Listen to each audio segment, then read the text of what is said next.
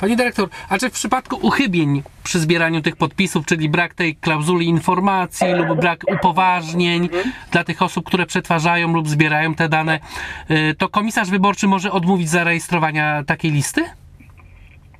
No w zasadzie, jeżeli stwierdzi, że do, do, doszło na tym etapie, prawda, do, jeżeli to wykaże, no bo muszą być dowody. Tak.